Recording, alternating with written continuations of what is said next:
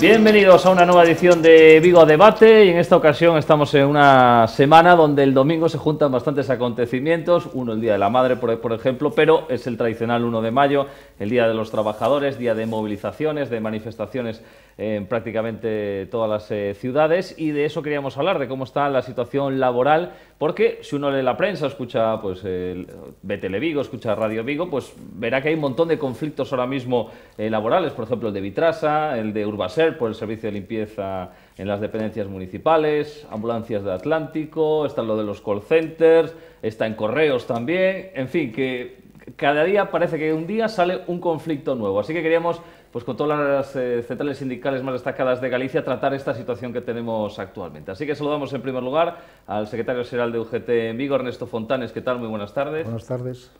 Está tamén a secretaria xeral de Comisión Sobreiras en Vigo, Monse Carrera, que tal? Moi boa tarde. Boa tarde. E el secretario comarcal da CIGA en Vigo, Alberto González, que tal? Moi boa tarde. Moi boa tarde.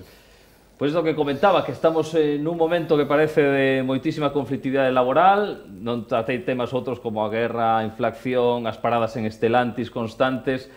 Como definimos, eh, en primer lugar, Ernesto, el, el panorama actual que tenemos? Bueno, pues eh, el panorama es incierto, eh, sobre todo en el ámbito laboral, pues eh, justamente pues, por las eh, consecuencias primero de, la pandemia y desgraciadamente ahora de la guerra. Y también porque bueno, eh, estamos asistiendo a, a, la negativa de la patronal por firmar un acuerdo nacional para la negociación colectiva con las organizaciones sindicales donde se contemple justamente el, el, desvío en los, en los, precios que estamos pagando los trabajadores, trabajadoras, el conjunto de la ciudadanía. Y bueno, pues eh, hay una posición cerrada por parte de la patronal, de las patronales en su conjunto, evidentemente, y, de, y del conjunto de las empresas asociadas, donde pues bueno, se pretende, como en otras crisis, desgraciadamente, eh, que esa carga la soportemos las y los trabajadores y el conjunto de la ciudadanía. Mm. Monse? Eh, o que acaba de decir Ernesto, añadiríalle que temos un cambio de panorama cada 15 días, cada 15, máximo 15 días temos novedades, e agora a última, entre as últimas que nos encontramos, é que temos eh, mandamos para Madrid, ou se foi para Madrid, o señor Feijó, E en relación á cuestión que estaba a falar do, do empresariado, lle está eh, dando aire con eso de eh, xa eles, xa teñamos a negociación difícil porque quere que, como dice Ernesto, que a carga pase aos traballadores, a maiores eles eh, eh o PP lle está dando aire no sentido de eh, hai que baixar impostos, eh, hai que mm, darlle máis aire á parte empresarial, etc. etc. Entonces, eh, a ver que o que sucede mañán tamén con ese Real Decreto que se quere aprobar, pero eh, temos unha parte da, do, do noso panorama político que eh, non está axudando moito a salir desta situación que temos que, que aínda non saímos completamente eh, da crisis da pandemia e a maiores temos que soportar as consecuencias da guerra en Ucrania. Alberto, Sí, nós eh, digamos que eh, un pouco máis do mesmo, non? Decir, que seguimos unha situación que xa non é derivada da unha crise que nos salimos da pandemia. Nos, nos retrotraeríamos un pouco máis atrás e dicimos que nos salimos da crise do 2009.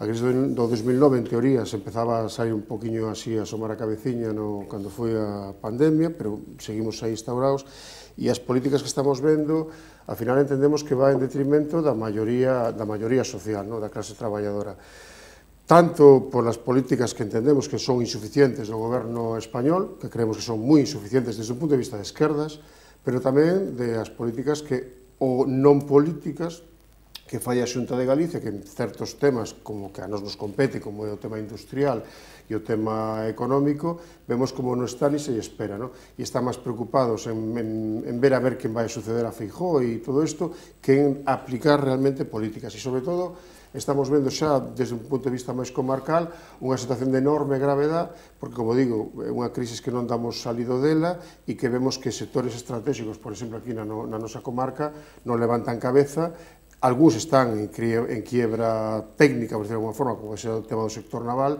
e outro tema que nos parece gravísimo que está acontecendo na automoción, que nos poñemos as pilas, o Portugal, o norte de Portugal nos acabará comendo as papas. Non? Mm. Tiña aquí unha serie de titulares de prensa, eh, así buscando información, a raíz do que comentaba de onde ven esta crisis, dice, el mercado laboral vigués aún sin recuperarse de la crisis de 2008. Hay 13.000 cotizantes menos y un millar de parados más que antes de la recesión económica. Y pone dos ejemplos. PSA tenía 10.000 trabajadores, hoy 7.000 y en Naval 13.000 y hoy tiene 4.000. O, por ejemplo, la automoción viguesa pierde 1.530 trabajadores por la crisis de los microchips. Y ya un último, la falta de trabajadores en Vigo se cronifica en pesca, metal, naval y transporte. Eh, no sé si podemos decir, ahora empezamos con Monse, si son los trabajadores que están pagando los costes de esta crisis eh, global que tenemos, ya vemos en todos los ámbitos. Sí, eh, é o que comentamos antes que eh, é a loita que temos en riba da mesa, sobre todo eh, negociando tamén, eh, toca muitísimos convenios e eh, nos o que queremos e o que decimos sempre é que ten que subir o salario conforme o IPC e é a gran batalla que temos en moitos dos, na maioría dos convenios que están ora arriba da mesa. E é tamén a gran batalla que temos na negociación do ANC en Madrid, que decimos que non teñen que ser os traballadores e as traballadoras o que paguen neste, eh, esta crise que estamos a vivir. E, eh, sí, de acordo, eh, non estamos, non vamos a tolerar que, que suceda eso como sucedeu na crise anterior de 2008, da que, eh, como dice tamén Alberto, ainda quedan resquicios. Uh -huh. Como vedes este asunto tamén, Alberto e Ernesto? Eh, son pues, os traballadores os grandes perxudicados? Claro, é que creemos que históricamente os traballadores son os grandes perxudicados e o vemos eh, ca, cas, cas políticas se aplica mesmo na negociación colectiva. Non entendemos que, por exemplo, que a parte da negociación da, da subida salarial e, e vendo como está subindo exageradamente o tema do IPC, que non é derivado da guerra, a parte mm, dura viu despois da guerra, pero que recordar que ano pasado, que non había guerra, se chegou a un grado de subida de IPC enorme.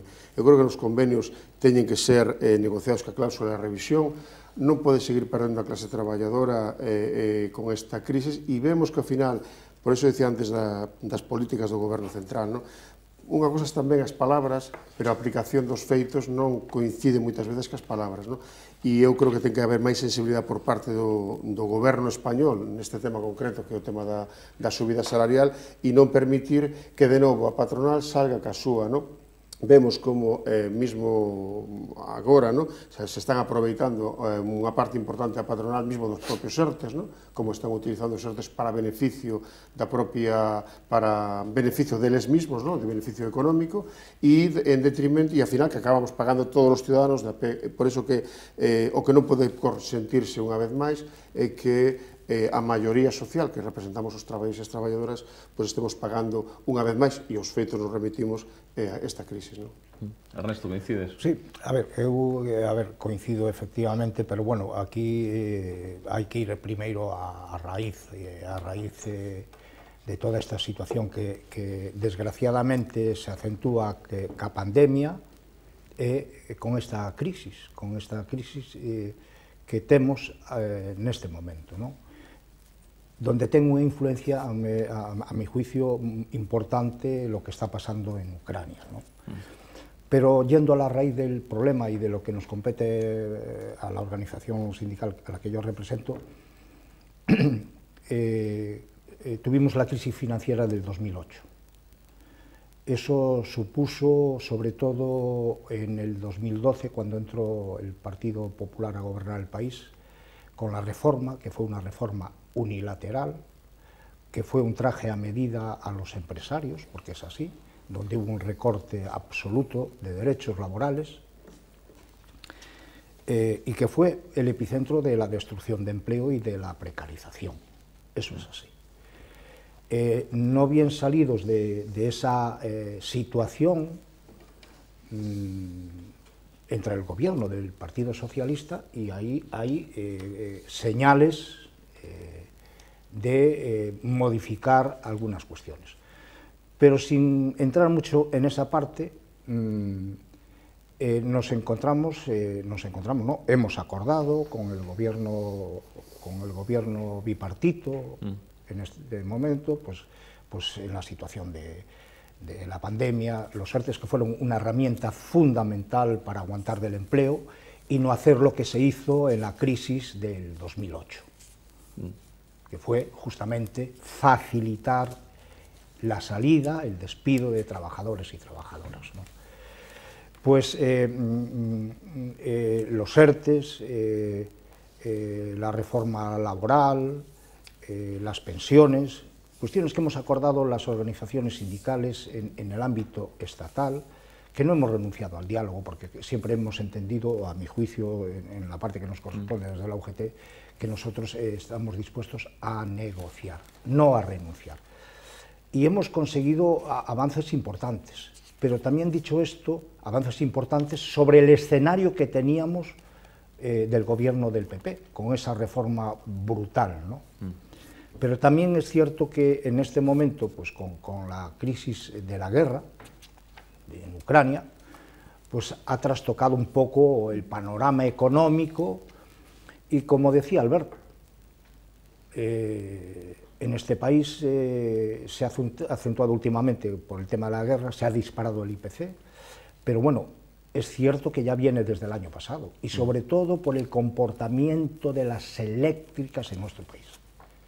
Porque si no recuerdo mal, la subida, los beneficios de las eléctricas en el año pasado cerraron en torno a los 11.000 millones de euros, de escándalo. Mm. Eso sí, a costa de, eh, de, la factura que hemos pagado los ciudadanos y las ciudadanas pues, en, esa travesía. Y después se ha acentuado todavía más pues, con, con, eh, con las energías fósiles, es decir, sobre todo ahora con la guerra, sobre mm. todo desde febrero.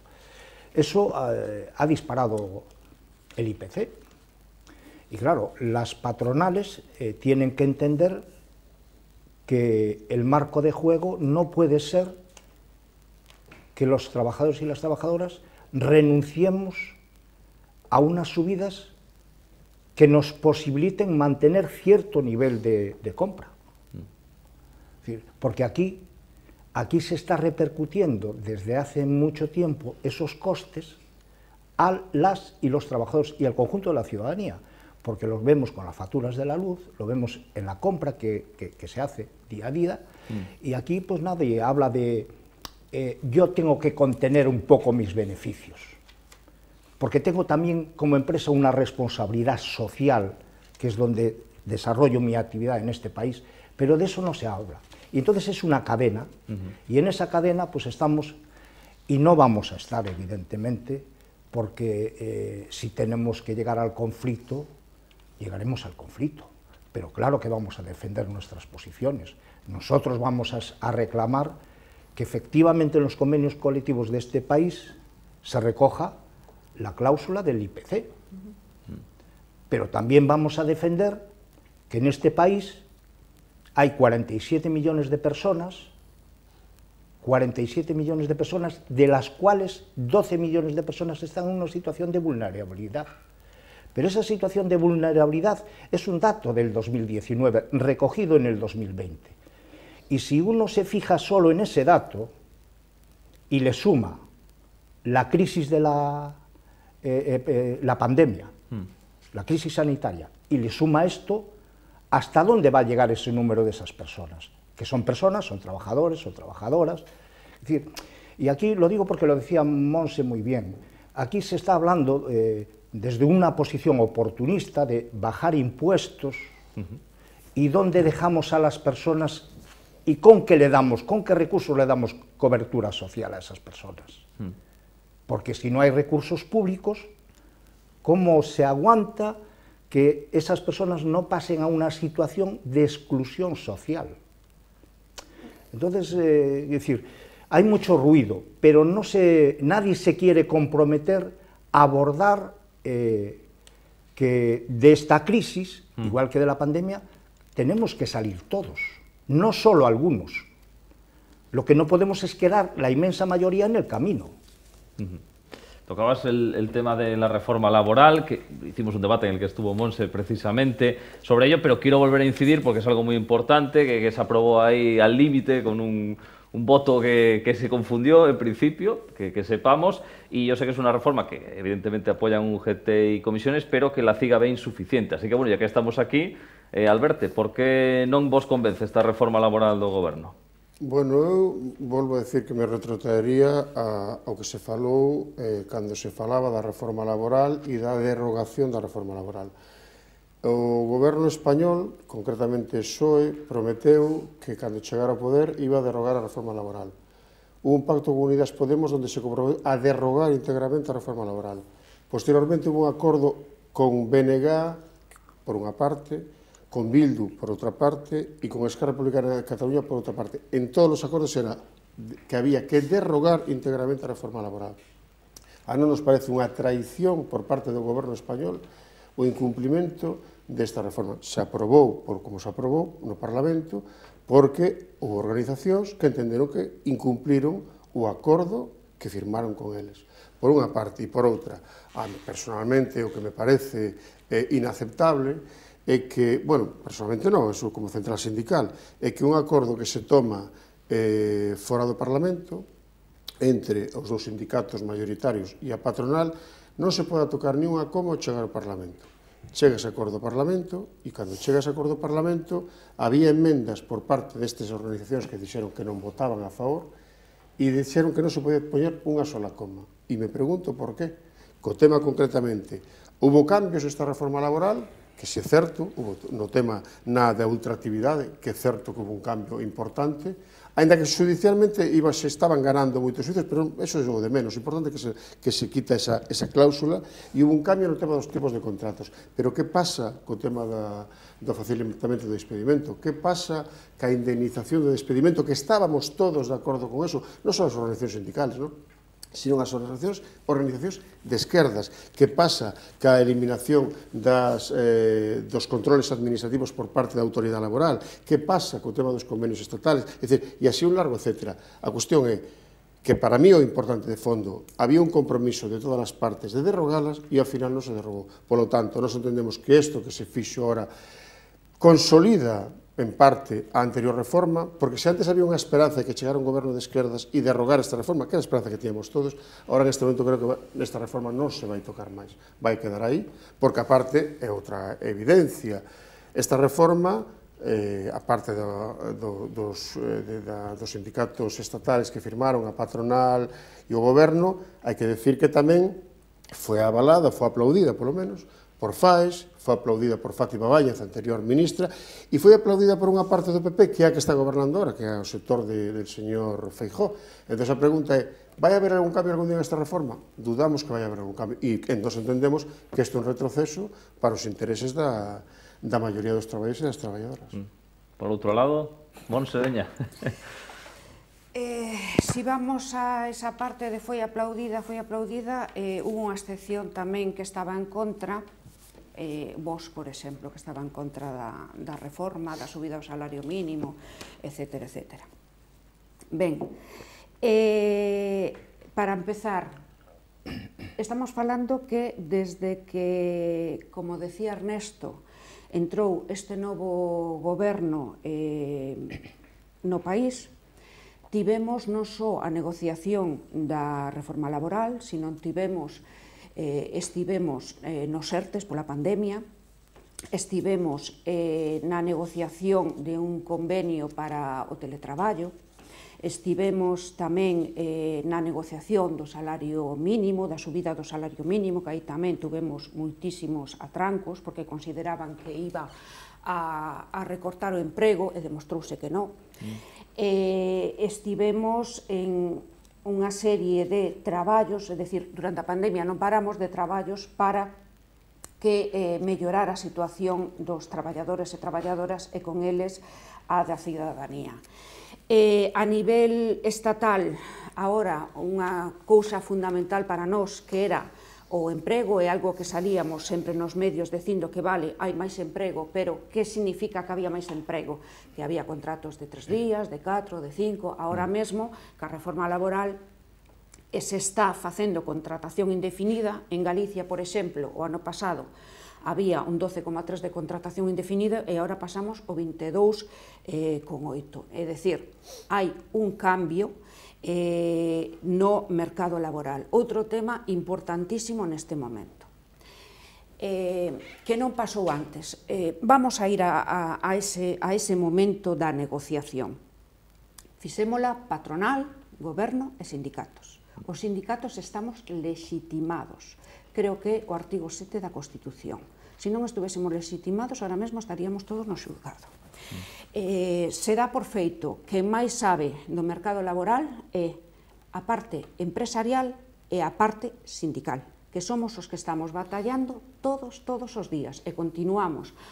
O exemplo é que estamos agora eh, en multitud de convenios eh, tanto autonómicos como provinciais, como o ANC que ten que ir para adiante sí ou sí, porque é eh, fundamental para a clase traballadora. Entón, se fixe un convenio eh, cas partes implicadas, cas que máis eh, sabemos porque estamos no día a día. Ben, eh, se hai alguén que poida eh, decir que nunha negociación nunca perdeu plumas, mm, non mo creo. É imposible. E eh, que nun momento tan difícil como o de estar vivindo unha pandemia, que a parte empresarial entenda a necesidade de chegar a un acordo, eh, eso vale moito.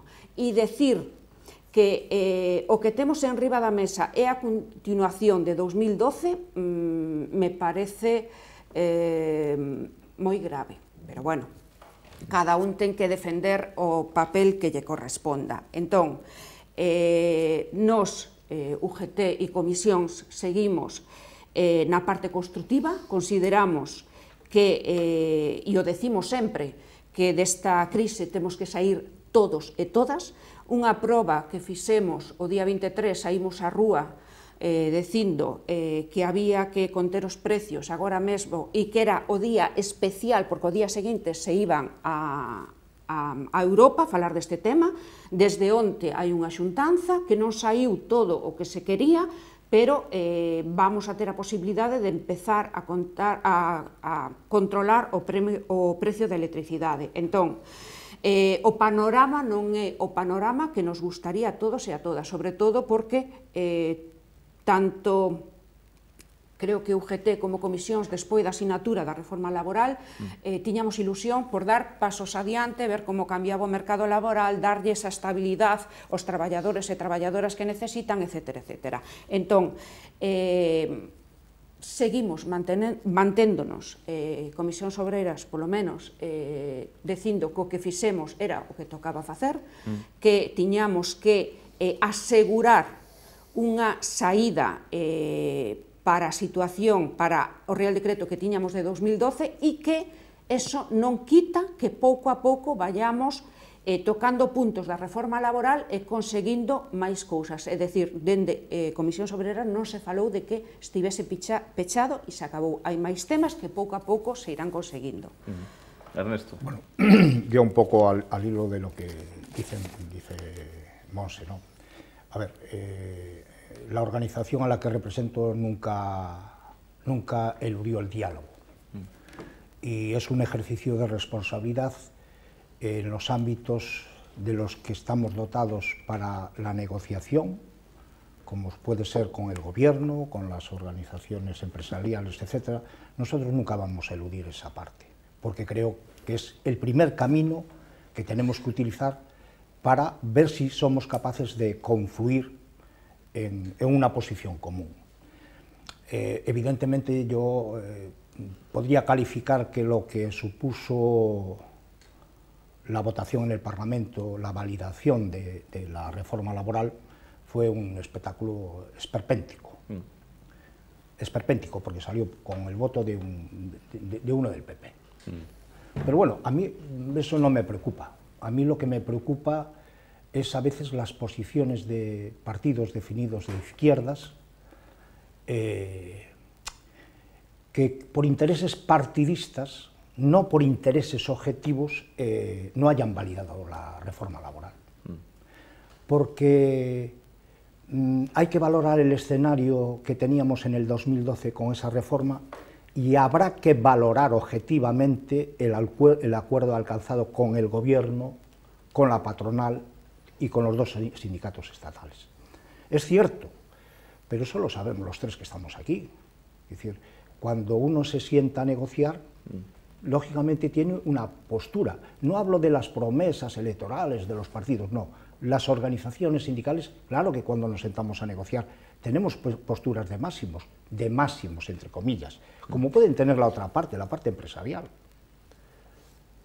Pero siempre es posible encontrar un punto de acuerdo, y si no hay el punto de acuerdo, pues no nos queda más remedio que el conflicto. Pero estamos obligados a evitarle ese coste al conjunto de las personas, de los trabajadores y trabajadoras y de la ciudadanía en general, ese coste.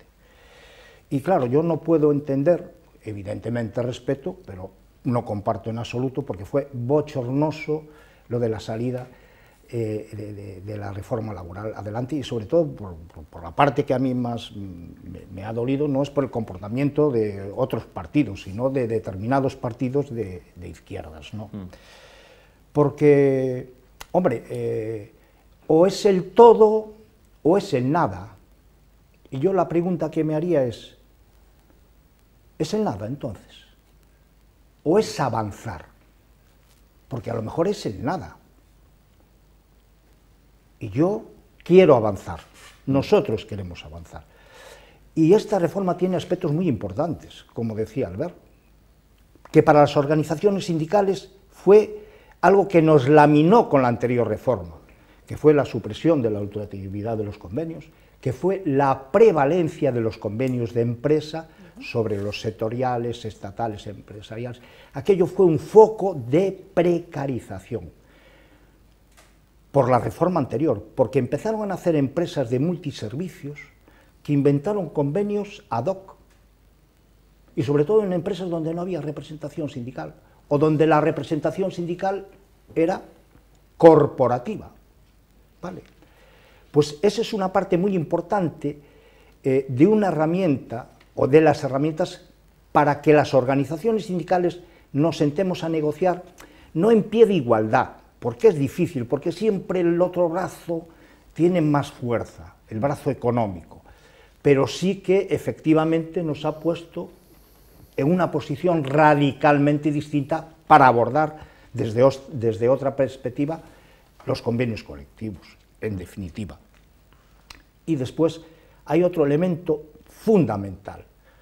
Eh, los contratos de obra en servicio en este país llevan instaurados, no sé si dos décadas o algo más. El contrato de obra en servicio era una bolsa de precarización total porque además se, utilizaba de manera fraudulenta. Pero es que además la utilización de ese tipo de contratos básicamente, básicamente se centró, sobre todo con la crisis, en las nuevas contrataciones y después de la reforma del PP, a la gente joven, a las mujeres, etc. Eso no lo hemos cargado. No lo hemos cargado. Ya no existe esa, modalidad contractual para seguir precarizando a los jóvenes y a las mujeres. Pero también hay más elementos. Tengo que interrumpir en esto porque nos tenemos que ir a publicidad y luego continuamos en este vivo debate.